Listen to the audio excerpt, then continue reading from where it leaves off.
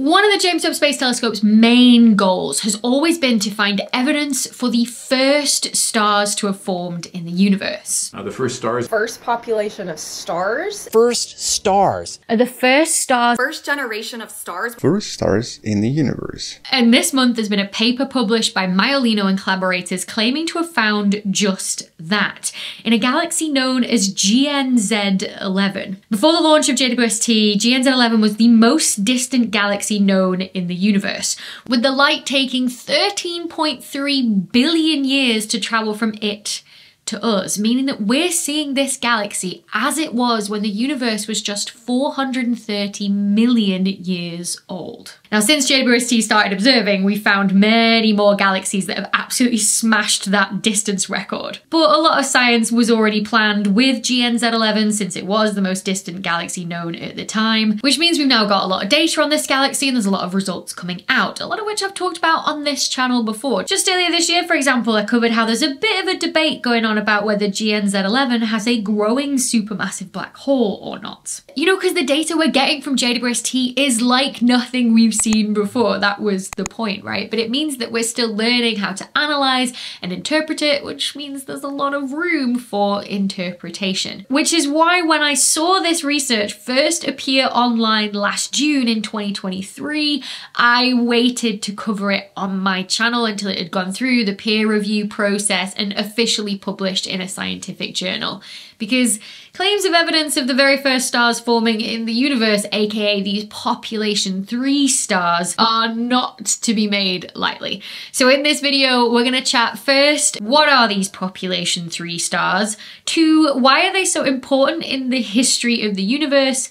Three, the evidence that Maiolino and collaborators claim to have for these population three stars in the galaxy GN-z11. And four, what's next to confirm this result? So let's start with these first stars, dubbed population three stars. So we think that in the early universe, only the simplest atoms and elements existed. So we're talking like 75% of all atoms were thought to be hydrogen and 25% were helium. There were then trace amounts of lithium, but we're talking like a tiny fraction of a percent.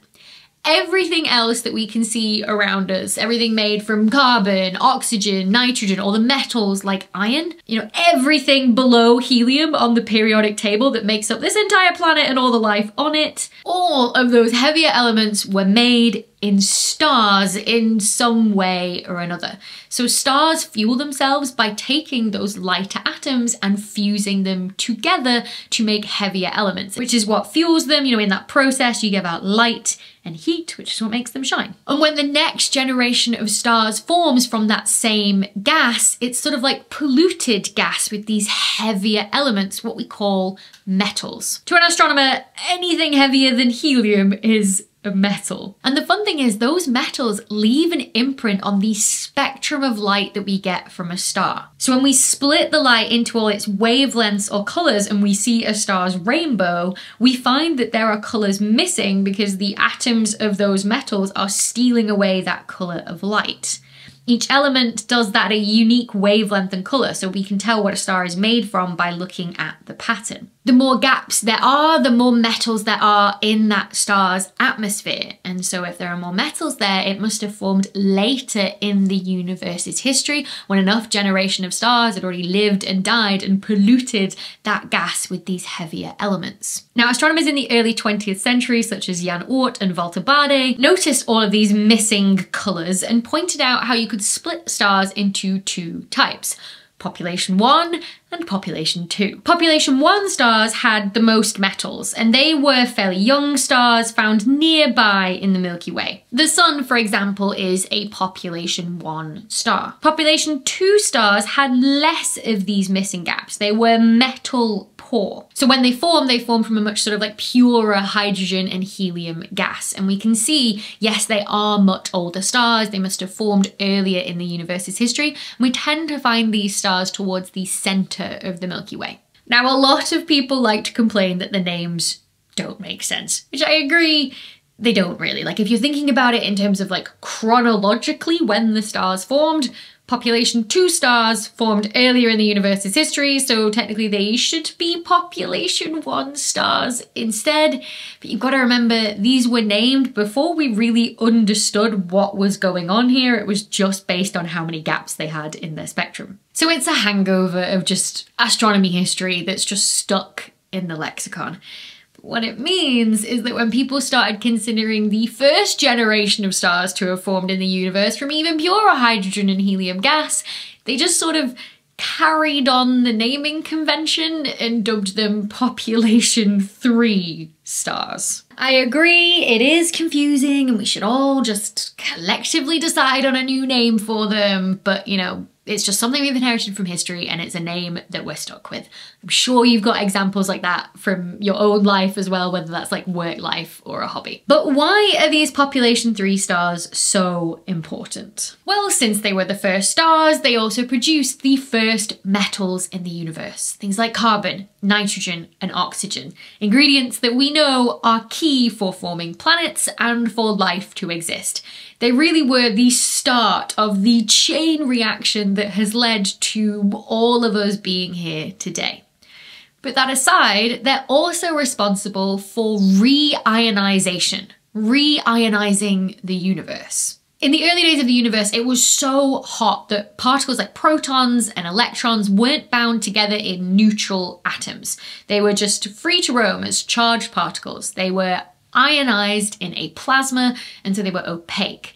But as time went on, the universe cooled enough so those particles could get bound together into atoms. The universe became transparent for the first time, and so light could free stream wherever it wanted to. And the first stars and galaxies started forming from the hydrogen gas that had now formed. But then energy from those first stars that had formed would hit into all of the surrounding gas, splitting the atoms apart and ionizing them again. Re-ionization. So population three stars play a really important role in our theories for how we think the universe has evolved, despite the fact that they were probably really short-lived. So without any of like the heavier elements like weighing them down, we think that population three stars could have got a lot bigger than stars today. And the larger and heavier the star you have, the faster it has to fuse its hydrogen as fuel to counteract the gravity pulling it in, which means they would have been incredibly bright but wouldn't have lived for very long long, like maximum 100,000 years,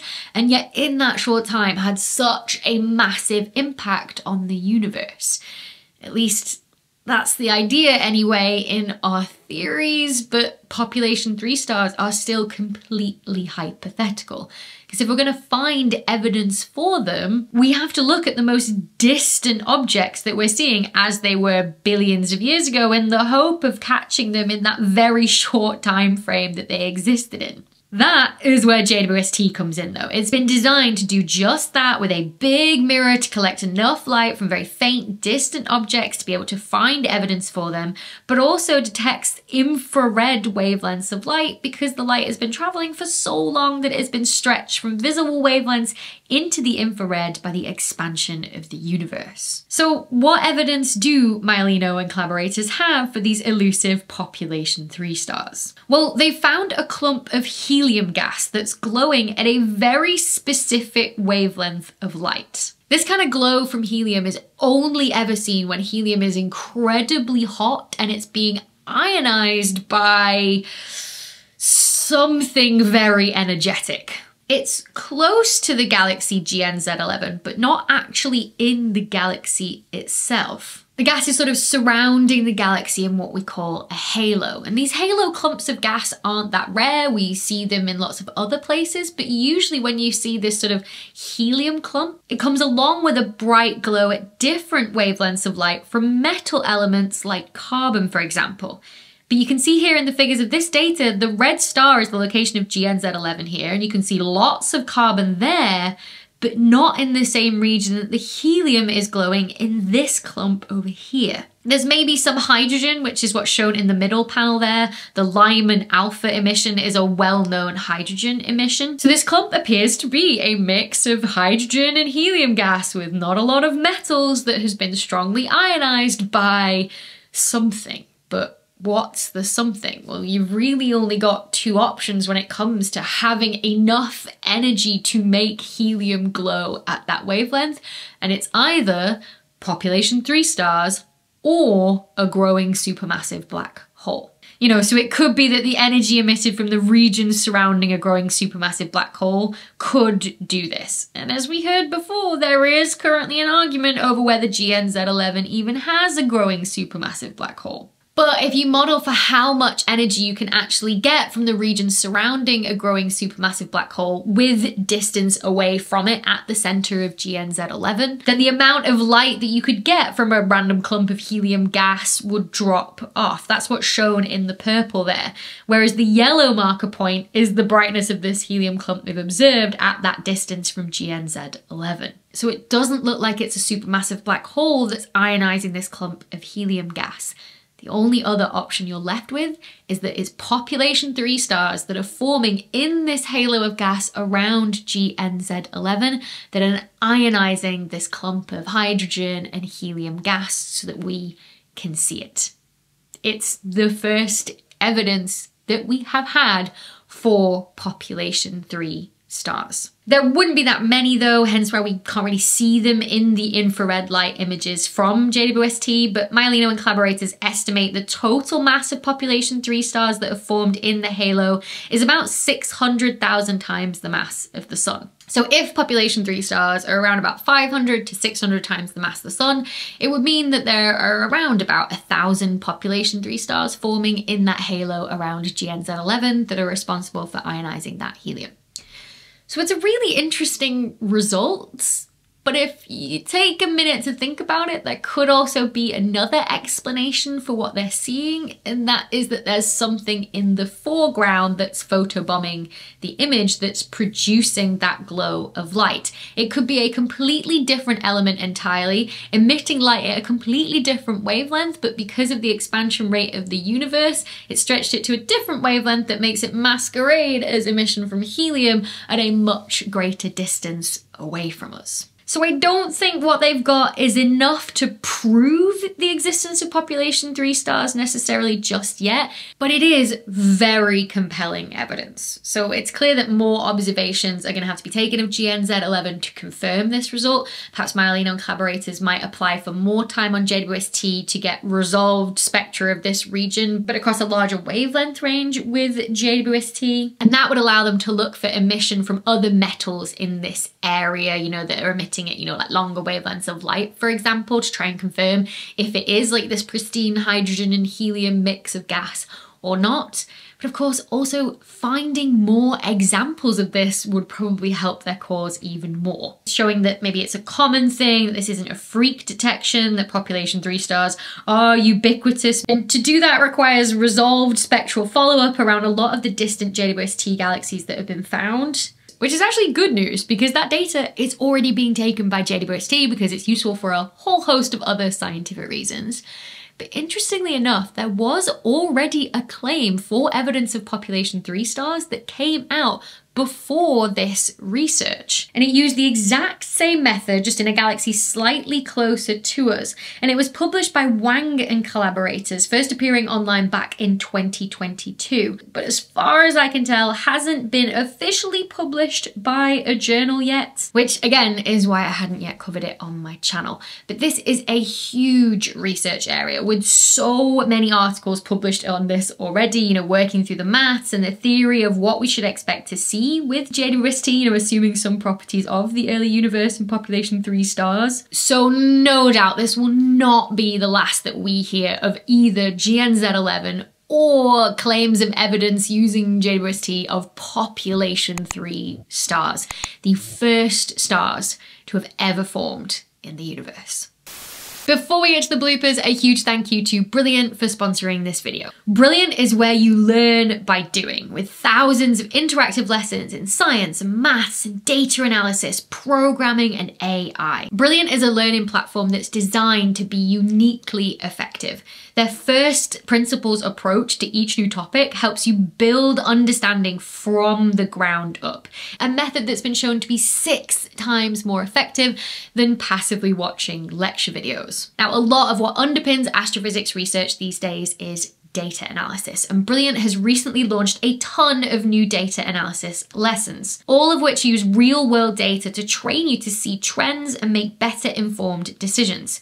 If you're a complete beginner or you're continuing to learn more about data analysis, it doesn't matter. They have a whole suite of new content from Bayes' theorem to multiple linear regression. So to try everything that Brilliant has to offer for free for 30 days, head to brilliant.org forward slash Dr. Becky. Or you can click on that link in the video description below, and with it, you'll also get 20% off an annual premium subscription. So thanks again to Brilliant for sponsoring this video. And now, roll those bloopers. Mm, testing, testing, one, two, three. How does this sound? Testing the new microphone. I'm sure there'll be many comments from people who are like, oh, the audio sounds better. Thank you. Such as Jan Oort and Walter Baade. Bade? Bard? Walter Bade. I'm gonna have to check that. Walter Bade. Bade. I was right. Nice. Walter Bade. Oh, I should probably check Jan Ort while I'm here as well. Jan van Ort. oh, that definitely wasn't right. I've been hit by a wave of the sneezes because that was so wrong how to pronounce.com first came out. But this is a sorry, I heard like the weirdest buzz and it was like I was like convinced like a bee had landed on me. That was really weird. Like did you, like I felt like I flinched but like this like weird like went up my spine at the same time. I'm imagining things. Do you like my blue wall? I hope you've enjoyed my little updates on my Office series. Very proud of my blue wall. So no doubt this will not be the last. Don't speak, I know just what you're saying. Don't be stop explaining.